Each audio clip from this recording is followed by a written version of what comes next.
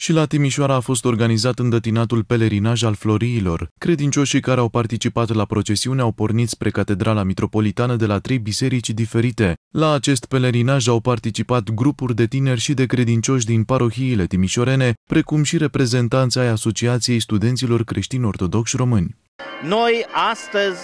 organizăm un astfel de pelerinaj în cinstea sărbătorii intrării Domnului nostru Isus Hristos în Ierusalim sau sărbătoarea floriilor, cum mai este numită, organizăm acest pelerinaj, iată, zeci de preoți din toate parohiile timișorene și din cele care sunt în imediată apropiere a Timișoarei,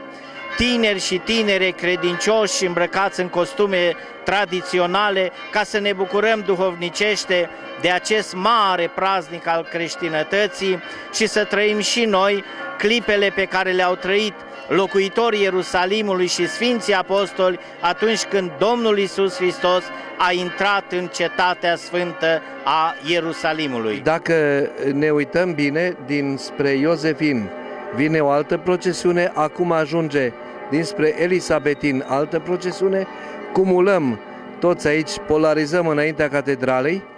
tocmai cum făceau în timpul când Isus a venit din Betania în Ierusalim, au venit a toți pelerinii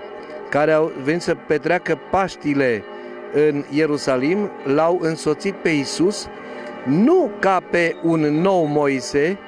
ci ca pe un Dumnezeu atotputernic, cele trei grupuri de pelerini au fost întâmpinate la Catedrala Mitropolitană de Preasfințitul Părinte Paisie Lugojanul, episcop vicar al Arhiepiscopiei Timișoarei, care a oficiat slujba vecerniei unită cu Litia. Pelerinii s-au bucurat apoi de cuvântul de învățătură al înalt preasfințitului Părinte Ioan, mitropolitul Banatului.